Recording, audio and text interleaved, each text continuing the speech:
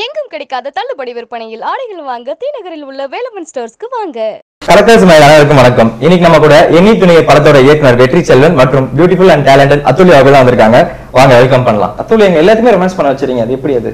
இன்ஸ்டாகிராம்லயும் சரி இப்படிதான் படத்துலயும் காமிச்சு எங்களுக்கு லவ் தூண்டி விட்டுருவாங்க அத்துலி அவர்கள்.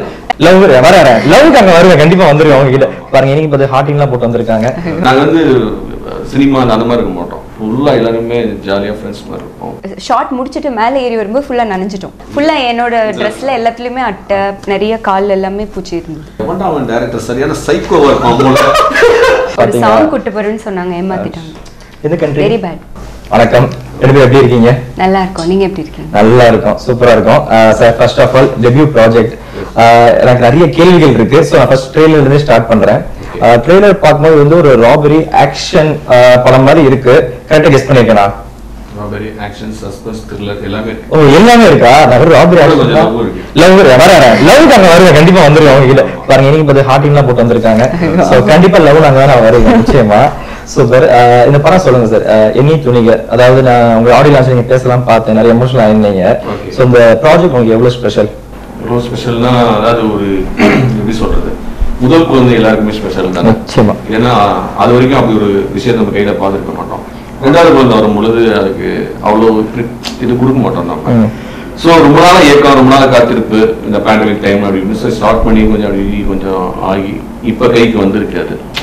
டெலிவரி ஆக போகுது. டெலிவரி வரும்போது ஆகஸ்ட் நாலாம் தேதி. டைம் குறிச்சிட்டாரு ஆகஸ்ட் ஃபோர்த்து Okay. அதனால ரொம்ப ஸ்பெஷலான ப்ராஜெக்ட் அண்ட் டெக்னீஷியன்ஸ் எல்லாமே நாங்க வந்து சினிமா அந்த மாதிரி இருக்க மாட்டோம். ஃபுல்லா எல்லாருமே ஜாலியா ஃப்ரெண்ட்ஸ் மாதிரி இருப்போம்.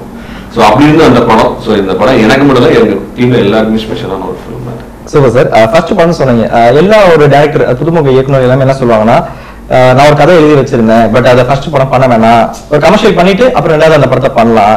ஏன்னா ஃபர்ஸ்ட் படம் வந்து எப்பவுமே ஒரு எல்லா புதுமுக இயக்குனருக்கு அதுதான் ஒரு முகவரியா இருக்கும். ஸோ கமர்ஷியல் டக்குனு ஹிட் ஆகி சக்ஸஸ் ஆயிரும். அந்த ஃபார்ம் நாங்கள் ஈஸியாக தெரியும். ஸோ அதனால நான் ஃபர்ஸ்ட் எப்பவுமே நார்மல் சப்ஜெக்ட் ஒரு கமர்ஷியல் ஒரு ட்ராமா ஒரு காமெடி ராம்காம் அந்த மாதிரி கூட பண்ணியிருக்கேன். அடுத்து எனக்கு பிடிச்ச கதையை பண்றேன்னு சொல்லுவாங்க.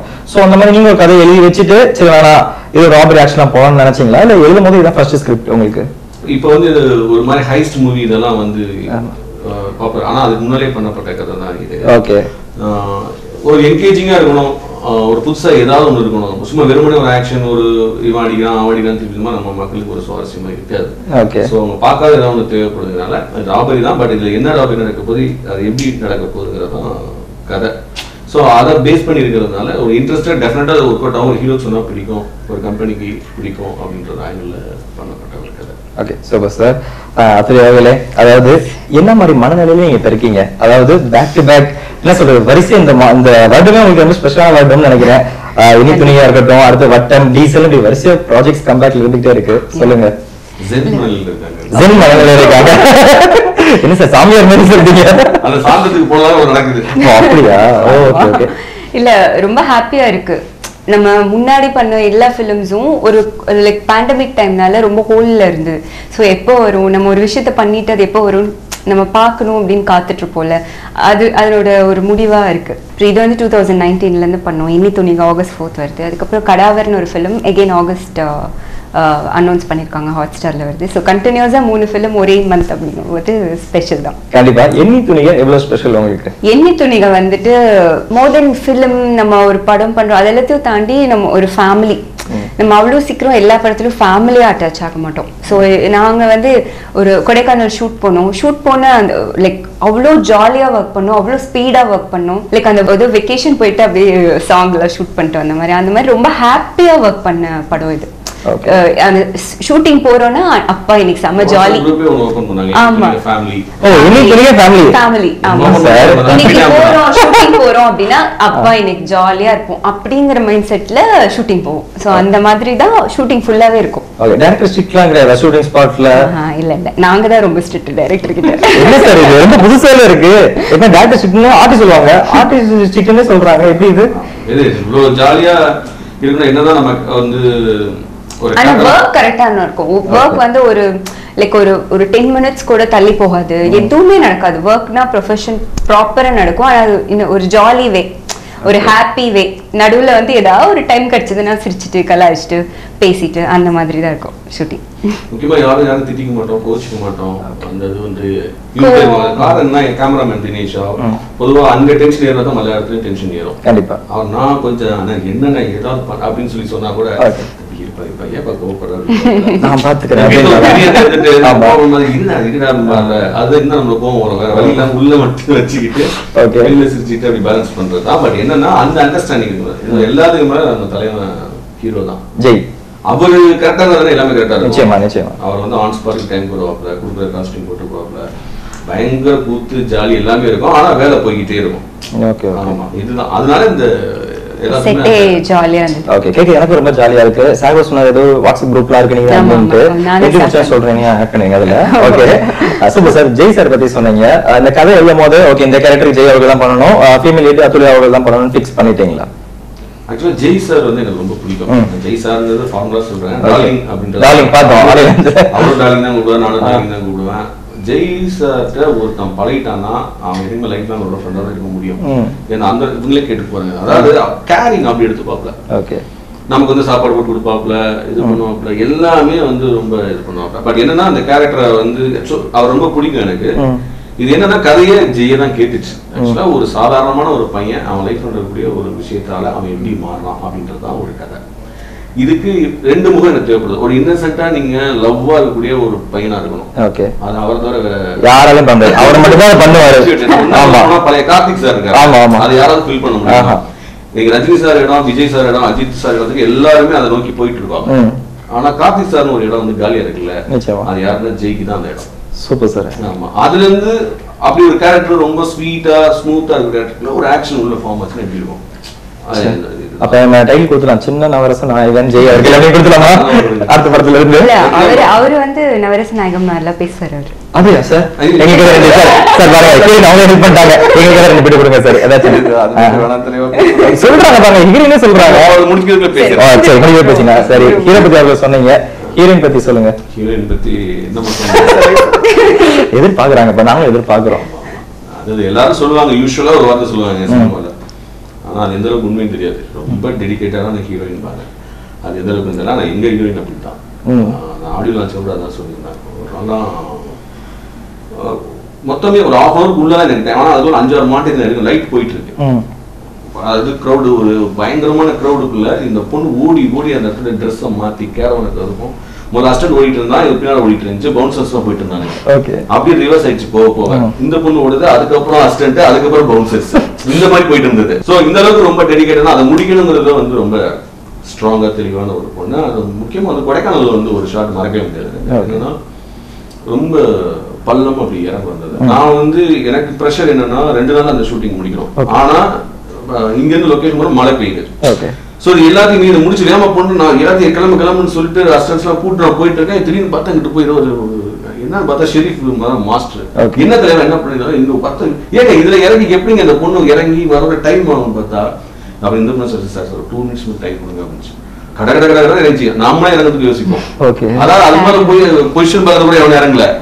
அந்த ஷாட் பாத்தீங்கன்னா பக்கத்துல பியூட்டிஃபுல்லா வந்துருக்கும் சோ அந்த மாதிரி இவனை கேட்டுட்டோம்னா நோ அப்படின்னு கிடையவே கிடையாது. அந்த ஷாட்டுக்கு என்ன தேவையோ அது கண்டிப்பா கொடுத்துருவாங்க. அப்ப- முக்கியமா டைம் பயமா பண்ணுவாங்க ஓகே அப்ப ஃபர்ஸ்ட் அழகா சொல்லிட்டீங்க. டெடிகேஷன் சும்மா இல்லைங்க அவங்க போறாங்க அப்பப்ப வந்து கொஞ்சம் டிஸ்டர்ப் பண்ணுவாங்க. என்னன்னா நம்ம சீரியஸா எடுத்துட்டு இருப்போம். காண கொண்டாந்து மூஞ்சி வைக்கிறது. ஓ, போய் ஏதாவது கிண்டல் பண்றது. கேமராமேன் போய் ஏதாவது டார்ச்சர் பண்றது. இந்த மாதிரி இந்த ஸ்வீட் டார்ச்சர்கள் நிறைய இருக்கும். நிறைய இருக்கும்.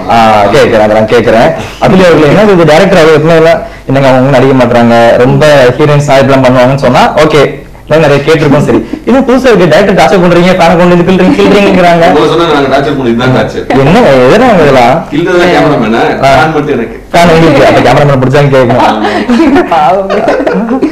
ஜோக்ஸ் அபாட் ஜெய் அவர்கள் கூட ரெண்டாவது ஜாயின் பண்ணிருக்கீங்க சோ அவங்க ஆக்ட் பண்றது ஓகே எக்ஸ்பீரியன்ஸ் பத்தி சொல்லுங்க இந்த படத்துல. இல்ல அதுதான். ஃப்ரம் ஸ்டார்டிங்ல இருந்து இப்போ வரைக்கும் ஒரே மாதிரி இருக்காங்க. ம். அதுதான் இம்பார்ட்டன்ட் ஏன்னா. ஒரு வருஷம் மாற மாற மாற எல்லாருமே சேஞ்ச் ஆவாங்க. அந்த மாதிரி எதுவுமே கிடையாது. அண்ட் ஸ்பாட்ல இருக்கும்போது அவர் இருந்தா எல்லாருமே சுத்தி ஹாப்பியா இருப்போம். இவரா இருக்கட்டும் நானா இருக்கட்டும் சிரிக்க வச்சுட்டே இருப்பாரு.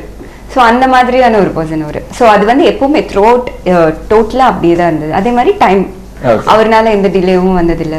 ஸோ அது எல்லாமே பார்க்கும்போது ஹாப்பி சூப்பரா இருக்கு ஸ்கிரிப்ட் டக்குனு கால் பண்ணி நம்ம இந்த படத்தை பண்றோம். அப்படின்னு எப்ப டிசைட் பண்ணீங்க? ஸ்கிரிப்ட் படிக்கும் போதா இல்ல ஃபுல்லா படிச்சு முடிச்சதுக்கு அப்புறம் உங்களுக்கு அந்த இன்ட்ரெஸ்ட் வந்துருச்சா? இல்ல ஃபர்ஸ்ட் ஃபர்ஸ்ட் நான் இவர் பா பார்த்தேன். பார்க்கும்போது ஒரு ரொம்ப லைக் ஒரு டைரக்டர்னா நமக்கு ஒரு ஃபர்ஸ்ட் ஒரு பயம் வரும். லைக் அவங்க என்ன என்ன நினைக்கிறாங்க? அந்த மாதிரிலாம் ஒரு ஃபீல் வரும். இல்ல அவர் அவர் நல்லா நம்ம கிட்ட பேசுவாரா? அந்த மாதிரி ஒரு விஷயம் வரும். அந்த மாதிரி எதுவுமே கிடையாது. ஃபர்ஸ்ட் வந்தோடனே இவர் ரொம்ப பவ்யமா அந்த மாதிரி ரொம்ப கேஷுவலா ரொம்ப ஒரு ரொம்ப down to like down to earth person மாதிரியே இருந்தாரு. அது அவர் கேரக்டரா பிடிச்சிருச்சு ஃபர்ஸ்ட் அதுக்கப்புறம் சரி கண்டிப்பா அப்போ கேரக்டரா பிடிச்சிருச்சு. அப்பவே ஒரு நம்பிக்கை வந்துச்சு. அவர் கண்டிப்பா நல்ல படம் எடுப்பாரு. க- ஒரு லைன் சொல்லிட்டு எனக்கு கதை அப்படின்னு படிக்கும்போது அதுல அவ்வளோ லைக் ஒரு த்ரில்லர் படம் நான் ப்ராப்பரா பண்ணது கிடையாது. ஒரு ப்ராப்பர் த்ரில்லர் படம் இருந்தது அண்ட் ஆக்ஷன் இருந்தது அதுல ஒரு லவ் இருந்தது அதுல ஒரு கியூட்னஸ் இருந்தது. அந்த பொண்ணுக்குன்னு ஒரு கேரக்டர் வச்சிருந்தாங்க. ஸோ எல்லாமே வந்து நல்லா இருந்தது. இது வரைக்கும் அது பார்த்திருப்பீங்க. நிச்சயமா. Definite-ஆ அது- அந்த துல்லியம் இதுல இல்ல. அவங்க அந்த எதிர்பார்ப்பும் அதுக்குள்ள இருக்கும். Okay. But வேற ஒரு character-ஆ அது ஒரு மாறுவாங்க. இருக்கும். ஓகே துல்லியம். நாங்க எப்பவுமே எதிர்பார்க்க அந்த லவ் அண்ட் கியூட் பிளஸ் அதே இருப்பாங்க அது தவிர இன்னொரு இருக்காங்க இவன்ட்ட அதுலயே பார்க்கறதுக்கு நம்ம ஏதோ வந்தோம்னா வச்சிருக்காங்க அப்படின்னு நினைக்க வேண்டாம். Okay. என்ன எதிர்பார்த்து வரீங்களோ அந்த cuteness அதுவும் இருக்கும் எதிர்பார்க்காத இருக்கும் ஓகே சூப்பர் சார் நைஸ் இன்னொரு வித்தியாசமான விஷயம் என்ன அந்த படத்துல பார்த்தேன்னா ப்ரொடக்ஷன் பேனர்ஸ் அதாவது அஹ், பொதுவா வந்து ஒரு படத்தை ப்ரொடியூஸ் பண்றதுக்கு ஒண்ணுல ரெண்டு பேனர் வருவாங்க. எனக்கு தெரிஞ்சு இங்க, அஹ், ரெண்டு மூணு பேருக்கு கிட்ட இருக்கு. ப்ரொடக்ஷன் பேனர்ஸ் மட்டுமே. சோ அதை சொல்லுங்க. அதாவது ரெயின் ஆஃப் ஆரோஸ் என்டர்டைன்மெண்ட் அவர் ப்ரொடியூசர் சுரேஷ் சுப்ரமணியன் சார். அவர் வந்து யூஎஸ் அவர் Okay. யூஎஸ்ல வந்து Los Angeles sir okay. So அவர் தான் ப்ரொடியூசர் ரொம்ப டெடிக்கேட்டடாக இந்த எனக்கு எப்படி ஃபர்ஸ்ட் ஃபிலிமாக நான் டைரக்டரோ அவருக்கு அது ஃபர்ஸ்ட் ஃபிலிம் ப்ரொடக்ஷன். ஸோ ஹாலிவுட்ல அவர் நிறைய படங்களோட பண்ணியிருக்காரு அவர். தமிழ்ல ஃபர்ஸ்ட் ஸோ ரொம்ப சின்சியராக பண்ணி கொடுத்தாரு. அவர்கிட்ட எடுத்து முடிச்சாச்சு. ஸோ இந்த கோவிட் டைம் அதெல்லாம் வரும்போது இந்த படம் எப்படி பிசினஸ் ஆகும்போது எப்படி ரிலீஸ் ஆகும் ஒரு பயம் இருக்கும் பொழுது. ஒருத்தர் வந்து படத்தை வந்து பார்த்தாரு. அவர் தான் ஸ்ரீதரன் மரிதாசன் சார் கிரிகேசரி. ஏதோ தேவதூதன் மாதிரி உள்ள வந்து. எனக்கே ஷார்ப் அதாவது நமக்கு ஒரு என்னதான் நம்ம படம் எடுத்தாலும் நம்ம புள்ள நமக்கு ஓகே மத்தவங்களுக்கு எப்படி இருக்கணும் நமக்கு. பார்த்த உடனே படம் எனக்கு பிடிச்சிருக்கீங்க. காரில் போகும்போதே டீல முடிச்சுட்டு போயிட்டாப்ல. அவர் தான் அது. அப்புறம் எம்எஸ்எம் மூவி ட்ரேடர்ஸ் வந்து தமிழ்நாடு தேட்டரிக்கெல்லாம் அவங்க பண்றாங்க. ஸோ இதுதான். எல்லாருக்குமே படம் பார்க்க பார்க்க பிடிக்கும். அது டக் டக் நடந்துச்சு இது எனக்கு ஒரு ஃபர்ஸ்ட் ஃபிலிம்ல நடந்தது ஒரு god face super sir producer வந்து ஹாலிவுட்ல தான் நிறைய ஒர்க் பண்ணிருக்காங்கன்னு சொன்னீங்க. ஓ அதனால தான் படத்துல ட்ரெயிலர் பார்க்கும் நிறைய ஃபாரினர்ஸ்ல இருந்தாங்க. சில லொகேஷன்ஸ்லாம் ஹாலிவுட் ஷூட் பண்ண மாதிரி கேள்வி. கேட்டீங்க நல்லா. நானே மறந்துருக்கலாம். படம் வந்து யூஎஸ்ல ஒரு டுவெண்ட்டி டேஸ். ஆ. ஆன்லைன்ல நீங்க படிச்சதே பார்த்துருப்பீங்க. நாங்க ஆன்லைன்ல டைரக்ஷனே பண்ணோம் ஹாலிவுட் டைரக்ஷனா ஆமா ஆமா. எப்படி சார்? இங்க இருந்து இங்க இருந்து அங்க டைரக்ட் பண்ணதா? ஆமா. இங்க இருந்து ஆக்ஷன் கட்டு இதெல்லாம் சொல்ல சொல்ல அங்க ஏன்னா போக முடியாது அந்த டைம்ல ஓகே. சோ கோவிட் டைம்ல எல்லாமே போட்டாச்சு. இவங்க இவங்க எல்லாம் கடைசியில் ஏமாத்திட்டோம். ஓகே. ஒரு டூ இயர்ஸ் கூட்டு போய் ஒரு சாங் கூட்டு போறேன்னு சொன்னாங்க ஏமாத்திட்டாங்க. எது கண்ட்ரி Very bad. US தான். என் producer US ல. ஜெய்யே கதிர்கதிர் சொன்னாப்ல ஆமா. ப்ரொடியூசர் ஏமாத்திட்டாரு. சார் எல்லாமே டைட்டிலே போட்டிருக்காங்க. ப்ரொடியூசர் ஏமாத்திட்டாரு அப்படின்ற மாதிரி. கரெக்டாக சக்சஸ் போட்டு அங்க வச்சுக்கலாம். நிச்சயமா யூஎஸ்ல வச்சிடலாம். சோ இப்ப ஆனா கதைக்கு தேவைப்பட்டுச்சு அந்த ஃபாரின் நடக்கிற லொகேஷன்ஸ் அங்க இருந்து ஆரம்பிச்சு இங்க வர்றது. ஒரு நிறைய நான் இது படத்தோட ஸ்பெஷல் வந்து பாத்தீங்கன்னா ஸ்கிரீன் பிளே தான் ஒரு கொஸ்டின் உங்களுக்கு மணி போக போக எவ்ரி சீன்ல கொஸ்டின் ஓடிட்டே இருக்கும் மைண்ட்ல ஒரு இன்ட்ரோல வந்து நிறுத்துவோம். ஓ சொல்லியிருக்கானா? ம். அப்ப இதுக்கு இது சொல்லிட்டா இது எப்படி இதை கொண்டு போக போறான்? இது என்ன கேரக்டர்ஸ் என்ன நடக்க போகுது அப்படின்னு பார்க்கும்போது செகண்ட் ஹாஃப் என்ன நடந்து அந்த முடிச்சு ஃபர்ஸ்ட் ஹாஃப்ல முடிச்சுகள் போட போறோம். செகண்ட் ஹாஃப்ல முடிச்சுகள் அவிழ்க்கப்படும் இதுதான் திரைக்கிறது சூப்பர் சார் பட் என் ட்ரெயிலர் பார்க்க ரொம்ப பிடிச்சிருந்துச்சு. நம்மளும் இங்க இந்த ஹாலிவுட் போயிட்டு இருக்காங்க. ஆனா நீங்க ஹாலிவுட் இங்க கொண்டு வந்து பாத்தீங்களா I like it I very much like it படத்துல இன்னும் முக்கியமான தோணி யாருன்னா மியூசிக் சாம் சிஎஸ் அவர்கள். அதாவது என்ன சொல்றது? இந்த த்ரில்லர் ஆக்ஷன் இந்த மாதிரி படங்களுக்குனாலே பிராண்ட்னா சாம் சிஎஸ் அவர்கள் தான். சோ அவர் இந்த படத்துல எப்படி ஜாயின் பண்ணாரு? அவர் வந்து அதான் என்னோட ஃப்ரெண்ட் ஒரு கார்த்தி அடங்கமர் கார்த்தி ஜெயம் ரவி. படம் போயிட்டு ஜவஹர் என் ஃப்ரெண்ட். அவரும் சாம் ரொம்ப க்ளோஸ் ஸோ அவரை இன்ட்ரோ பண்ணாரு. ஸோ பார்த்து பேசுவோம். அவருக்கு வந்து இந்த படம் நான் ஏன் பண்ணணும் அப்படின்னு ஒரு கொஸ்டின் இருந்தது அவருக்கு. ஓகே ஆஹ் ஏன்னா இவன் ஒரு புது டேரக்டர் ம். ஓகே ஏன் நான் பண்ணணும்? கைதிலாம் முடிச்சு தலைவன் வேற அளவு வேற லெவல்ல இருந்து இதை ஏன் பண்ணி ஒரு புது டேரக்டர் எனக்கு நான் ஏன் பண்ணணும்? ஒரு மண்டை ஓடிடுவான் அவருக்கு. பட் என்ன தலைவா ஒரு பத்து நிமிஷம் மட்டும் கதை கேளுங்க அப்படின்னு சொல்லிட்டு அந்த ஸ்க்ரீன் பிளே நான் சொன்னேன். அவர் வந்து இந்த ஸ்க்ரீன் பிளே ஃபார்மேட் அவருக்கு புதுசா இருக்கனால பிடிச்சிச்சு அவருக்கு. பாயிண்ட் ஆஃப் வியூல நான் லீனியர்ல நிறைய சிக்கல்கள் உண்டு பண்ணி தீர்க்கிறது தான் ஸ்க்ரீன் பிளே ஓகே டாப்ல ஆர்ஆர் அவர் பத்தி சொல்லவே வேணாம். ஆர்ஆர் ஸ்பெஷலிஸ்ட் இசை அது மாதிரி ஒரு புதுசா ஒன்று டேக் போடுறாங்க. ஆர்ஆர் அரக்கன். ஆர்ஆர் அரக்கன். அவர்கள் நல்ல டைட்டில் கொடுத்தாச்சு. அதுக்கு அந்த இன்டர்வியூ ரெண்டு பேரும் டைட்டில் கொடுத்துருக்கோம். அதை பண்ணிட்டாங்க யூஸ்வலாக அவர் அது பண்ணுவார்.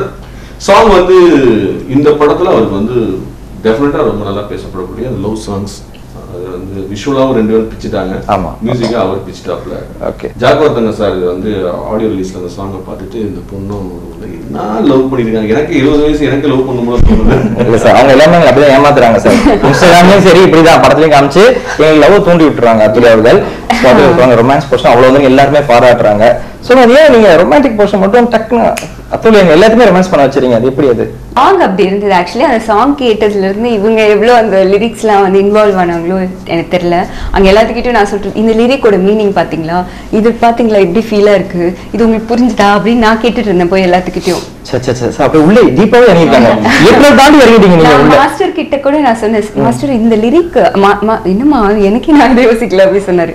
லிரிக்ல இப்படி ஒரு விஷயம் இருக்கு மாஸ்டர் அப்படின்னு. இந்த சாங் ஷூட்டிங் போயிட்டோம் Okay. கொடைக்கானல் போன கா அவங்க ஹீரோ வந்து மூவ்மெண்ட் போட்டுட்டு இருக்காரு ரெகர்சல் பார்த்துக்காரு அந்த பொண்ணு எங்கன்னா கேரவன்ல உட்காந்துருக்கணும்னா சரி ஓகேன்னு சொல்லிட்டு அவங்க போனா பாட்டு ஓடிட்டு இருக்கு ஓகே. ஆஹ் அப்படியே மிரர்ல போய் பார்க்கும்போது வேகமா ரெடி ஆகுங்க. இப்பதான் வந்து இறங்கியிருக்காங்க. போகணும் டூ டேஸ் த்ரீ டேஸ்ல சாங் முடிச்சாகணும் மிரர்ல போய் பார்க்குறேன் கண்ணுல கண்ணீர் ஓடிட்டு இருக்கு நான் சொல்றது உண்மை. ஓகே. நான் எதுக்கு நான் பார்த்தா அதுல சரணத்துல ஒரு ஒரு ஒரு feel எமோஷனலா ஹரிச்சரன் பாடிப்பாப்ல இத கேட்டு உண்மை தானே அப்புறம் ஏன் அழுகுறீங்க. நான் வேற ஏதோ பிரச்சனையா? என்ன மாதிரி கேட்டா இல்ல இந்த மாதிரியே கேட்டீங்களா? எனக்கு ரொம்ப ஹாப்பி என்னன்னா கார்த்திக் நேதா தான் லிரிக்ஸ் சோ ஒரு ஹீரோ இதை டயலாக் சொல்றதுக்கே இங்க பிரச்சனையா இருக்கு. ஒரு பொண்ணு அந்த லிரிக்க புரிஞ்சு அழுது அதை நீங்க பெர்ஃபார்மன்ஸ்ல பார்க்கும்போது அல்டிமேட்டா வந்துச்சு. ஓகே ஆமா. அந்த அளவுக்கு லிரிக் ஸோ நம்ம ஒரு ஃபீல் அது வரும்போது நாங்க நாங்க ரெண்டு பேர் மட்டும்தான் ஆர்டிஸ்ட் அந்த அந்த பாட்டுல. பேக் டான்சஸோ வேற யாருமே கிடையாது. ஸோ த்ரூ அவுட் அந்த song three three and minutes song வந்து நாங்க தான் ஹோல்ட் பண்ணோம் அப்படிங்கும்போது அந்த சாங்கும் அவ்வளோ பியூட்டிஃபுல்லா இருந்தது லொக்கேஷன் அவ்வளோ பியூட்டிஃபுல்லா இருந்தது. அஃப்கோர்ஸ் அப்போ நம்ம நல்லா தானே பண்ணி ஆகணும் அதான். சூப்பர் எண்ணி துணிக படத்துல நீங்க கத்துக்கிட்ட ஒரு விஷயம். இன்னொரு விஷயம் இந்த படம் ஷூட்டிங் ஸ்பாட்ல எனக்கு இந்த குறிப்பிட்ட இந்த சீன்ஸ்லாம் ரொம்ப சவாலா இருந்துச்சு. அப்படி நீங்க சொல்றது? சவாலா இருந்துச்சு அப்படின்னா அது சொல்லாம சொல்லணும். சொன்னா ஓகே சவாலா ஆக்சுவலி ரொம்ப உண்மையாவே ரொம்ப பெரிய சவாலா இருந்தது. எனக்கு பெர்ஃபார்ம் பண்ண கஷ்டம். அந்த மாதிரி எதுவும் இல்ல. அதுதான் உண்மை. பட் ஆனா ஒரு ட்விஸ்ட் ஒரு விஷயம் இருக்கும். அந்த இடத்துல கொஞ்சம் நாங்க நிறைய ஒர்க் பண்ணோம். அண்ட் அது day and night call sheet போயிட்டே இருந்தது. ம். கண்டினியூஸா போயிட்டு இருந்தது. பிரேக்கே இல்லாம ஆல்மோஸ்ட் ஒரு த்ரீ கால் ஷீட் கண்டினியூஸா நாங்க பண்ணோம். அந்த இடம் மட்டும்தான். அதை இப்போ ரிவீல் பண்ண முடியாது. அண்ட் அது இல்லாம சாங்ஸ் சாங்ஸும் வந்துட்டு கொடைக்கானல் சூப்பரா நாங்க என்ஜாய் பண்ணி பண்ணோம். ஆனா லொகேஷன் எல்லாமே என்ன ட்ரெக்கிங் பண்ணி போற மாதிரி இருக்கும். ஸோ அதுல எனக்கு saree கட்டியிருப்பேன். Saree கட்டிட்டு எல்லாமே கீழே இறங்கி கல் அது இதுன்னு சொல்லிட்டு ரொம்ப அந்த சாரி. ட்ரெக்கிங் பண்ணி அதுதான். அந்த அஹ், அந்த ஷார்ட் முடிச்சிட்டு மேலே ஏறி வரும்போது ஃபுல்லா நனைஞ்சிட்டோம். Okay. ஸோ ஃபுல்லா ஈரமா இருக்கு saree அதுல ஏறி வரணும். ஸோ அந்த மாதிரி சில சில. விஷயம் கஷ்டமா இருந்தது. அவ்வளவுதான். எல்லாரும் டார்ச் லைட்ஸ்னா அந்த ஏறிட்டு இருந்தாங்க. ஓ ஓகே இந்த பாம்பு அது அட்டை- தான் கடிச்சிட்டு குட்டி இருக்கு இவ்வளவுதான் இருக்கும் பாரு. ஆமா. ஓகே ஆமா ஃபுல்லா என்னோட ட்ரெஸ்ல எல்லாத்துலயுமே அட்டை நிறைய கால் எல்லாமே பூச்சி இருந்தது. எல்லாம் முடிஞ்சு நான் மட்டும் தான் ஏறேன் எல்லாரும் அனுப்பிச்சு நானும் கேமராமேன் மட்டும் மேல ஏறுறோம். எல்லாருமே வந்து சாரி அத்துலியா சாரி டார்லிங் ஹீரோட்ட இந்த மாதிரி லொகேஷன் கொஞ்சம் அந்த மாதிரி லொகேஷன் சாரி அப்படின்னா எல்லாம் முடிஞ்சு முடிஞ்சு போயிட்டு இருக்கு. திரும்பி இன்னைக்கு வரைக்கும் யாரும் தெரியல. எவன்டா அவன் டேரக்டர் சரியான சைக்கோவா இருப்பான் இப்படி ஒரு லொகேஷன் உனக்கு மாட்டிவிட்டா எவ்வளவு சொல்லினா நம்ம யூனிட்ல பசங்க ஆமா. அப்படி ஒரு குரல் கேட்டாலும் ஹீரோ ஹீரோயின் வந்து அதை ரொம்ப எந்த விதமான எஸ்டேட் ஆகாம. அவங்க அடுத்து எப்ப ரூமுக்கு வரீங்க வேமா வாங்க டின்னர் சாப்பிடுறதுக்கு வாங்க சொல்லி கூப்பிட்டாங்க பரவாயில்ல நம்ம கோவமாயிட்டு பரவாயில்ல சார் கேட்க எங்களுக்கே ரொம்ப பயமா இருக்கு இந்த என்ன சொல்றது நேஷனல் ஜியோகிராஃபில ஏதோ இங்கே போன மாதிரி காட்டுக்குள்ள போன மாதிரி இருக்கு ஆமா அந்த லொகேஷன் வந்து அந்த பின்னாடி வாட்டர் இருக்கும். ஸோ அந்த பிளேஸ் வந்து அப்படிதான் போய் ஆகணும். கொடைக்கானல் இது வரைக்கும் யாருமே ஷூட் பண்ணல அந்த இடத்துல. பண்ணல ஆக்சுவலி ஸோ சார் உங்க கதை மட்டும் டிஃப்ரெண்ட் இல்லை நீங்க ஷூட்டிங் ஸ்பாட் கொஞ்சம் ரொம்ப டிஃப்ரெண்டாக தான் இருக்கு. ஓகே சார் ஃபைனலா அதுல ஒரு டெடிகேஷன் ஃபர்ஸ்டே சொன்னீங்க. ஸோ ஃபியூச்சர்ல இப்போ நல்ல அப்கமிங் ஆர்டிஸ்ட் வந்துட்டு இருக்காங்க என்ன மாதிரி இடம் கிடைக்கும் நீங்க அதுல அவங்களுக்கு இண்டஸ்ட்ரியில என் ஒய்ஃப் சொல்லுவாங்க. ஓகே நான் கூட கொஞ்சம் டவுட்டா யோசிச்சேன் ஃபர்ஸ்ட் Okay. சரியா வருமா? ஏன்னா பல முகம் ஓடுது இந்த முகத்துல. ஒரு முகமா இல்லையே அது ஒரு ஒரு நாளைக்கு ஒரு ஒரு மாதிரி இருக்கும். என்னப்பா, என்னம்மா இன்னைக்கு நாளைக்கு அங்க ஒவ்வொரு ஹீரோயினா தெரியுதுங்கிற மாதிரி. இருக்கும். என் ஒய்ஃப் வந்து சொன்னாங்க தெரியல. சொல்லலாம். ஜோதிகாவுடைய இடம் வந்து இவங்களுக்கு கிடைக்கும் அப்படின்னு அடிக்கடி சொல்லுவாங்க. இவங்கள்ட்டே சொல்லியிருக்காங்க அதை என்கிட்ட சொல்லியிருக்காங்க. சூப்பர் இதுக்கு மேல மிகப்பெரிய காம்ப்ளிமெண்ட் தெரிஞ்சு கொடுக்க முடியாது. எப்படி ஃபீல் பண்றீங்க இதை? இல்ல அது ரொம்ப ஹாப்பியா இருந்தது. இப்போ இவர் சொன்னாருன்னா ஒர்க் பண்றாங்க ஏதோ சொல்றேன் அப்படி நான் எடுத்திருப்பேன். பட் அவங்க ஒய்ஃப் வந்து அவ்வளவு ஸ்வீட்டா அவங்க என்ன என் கூட பழகி என் கூட பேசிட்டு என்கிட்ட நல்லா பேசணும் அந்த மாதிரி எதுவுமே இல்லாம அவர்கிட்ட சொல்லியிருக்காங்க. ஒரு தடவை அப்போ பேச வேண்டிய சுச்சுவேஷன் வரும்போது நாங்கள் பேசும்போது அவ்வளோ ஸ்வீட்டாக சொன்னாங்க. ஸோ ரொம்ப ஸ்வீட் அவங்க. ஜோதிகா மாதிரி சொல்லிட்டாங்க. எதிர்பார்த்த சூர்யா சார் மாதிரி எதிர்பார்க்குறீங்களா?